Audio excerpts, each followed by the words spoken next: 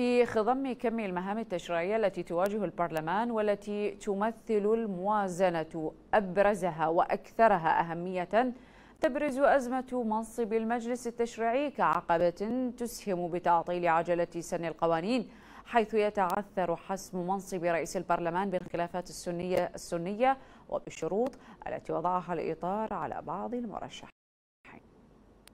على نفس المرشحين في جلسة اختيار رئيس البرلمان الأولى التي ردت دعوى إلغاء شرعيتها المحكمة الاتحادية. تتحرك الأطراف السياسية في حواراتها لتكوين اتفاق سياسي جامع لرؤية السنة والإطار التنسيق المستقبلي حول الشخصية التي ستشغل فراغ منصب رئاسة مجلس النواب. القضية تبدو يعني نوعا ما معقدة لأن القوى السينية لغاية الآن لا تتفق ولم تتفق على شخصية محددة وبالتالي يعني الإطار التنسيقي والقوى الأخرى المنضوية في إدارة الدولة.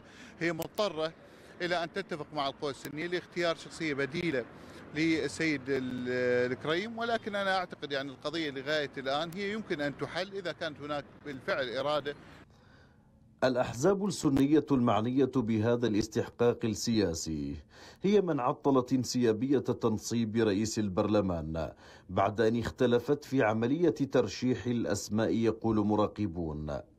بينما الإطار التنسيقي قد وضع عدة معايير لطرح شخصية الرئيس عليه حال اتفاق المكون السني أي قبل الذهاب إلى تحديد موعد لجلسة أخرى. الكتل السنية لم تتفق. اتفاقها ممكن أن يفضي إلى آه، وق أو يعني ضوءا أخضرا للإطار وحتى الكتل آه، الكردية هي مع قناعة البيت السني.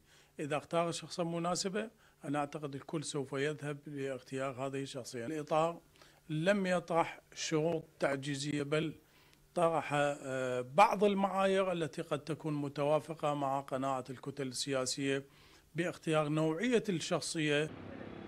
وتمضي الكتل السياسية في مباحثات الاتفاق على اختيار شخصية رئيس البرلمان بعد أن تعثرت لمدة تجاوزت الأربعة أشهر في حسم هذا الاستحقاق. أحمد ليث بغداد. قناة الرابعة.